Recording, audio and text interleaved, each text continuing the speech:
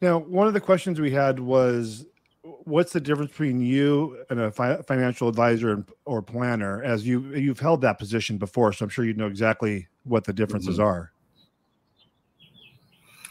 yeah i mean the primary differences is, are you know the ability to handle money specifically to manage money to sell investments to sell insurance if that's what the financial planner does whatever that may be that is a licensed uh, regulated profession, if you will. I mean, not to say that you know I don't do a good job and I you know I'm not professional and knowledgeable and experienced and so forth, but coaching in general is not a licensed profession.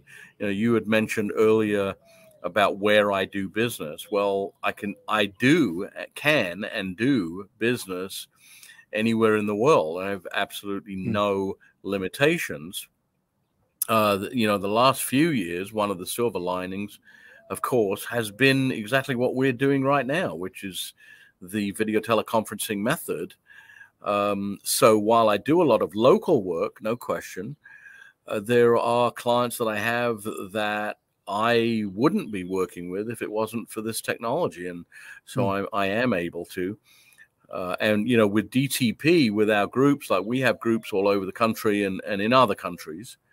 And uh, as a result, you know, I, I've been very fortunate to uh, also have clients in many different places with exactly the same problems that the, the person has that's down the road from me, you know.